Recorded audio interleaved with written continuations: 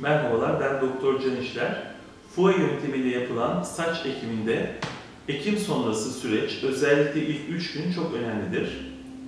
Ekilen saçların kesinlikle yerinden oynatılmaması, kafanın bir yere çarpılmaması, dikkat edilmesi gereken konulardır. Bu konuda kişi uyarılır.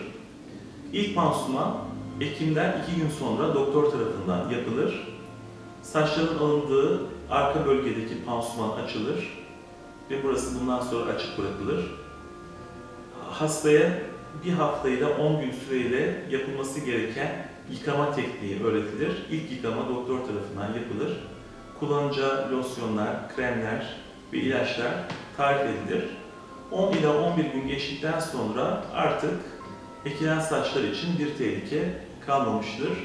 Sigaraya dikkat etmek e, kaydıyla kişi normal günlük yaşantısına devam edebilir.